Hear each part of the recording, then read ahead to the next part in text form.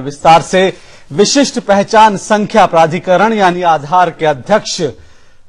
UIDAI यानी आधार के अध्यक्ष नंदन नीलकेणी ने आज कहा कि अगले दो सालों में कम से कम 60 करोड़ लोगों को आधार कार्ड मिल जाएगा। प्रधानमंत्री डॉक्टर मनमोहन सिंह और यूपीए अध्यक्ष सोनिया गांधी कल राजस्थान के दूदू में लाभार्थियों को राज सहायता के प्रत्यक्ष हस्तांतरण के लिए आधार से जुड़ी योजनाओं की शुरुआत करेंगे। महात्मा गांधी राष्ट्रीय ग्रामीण रोज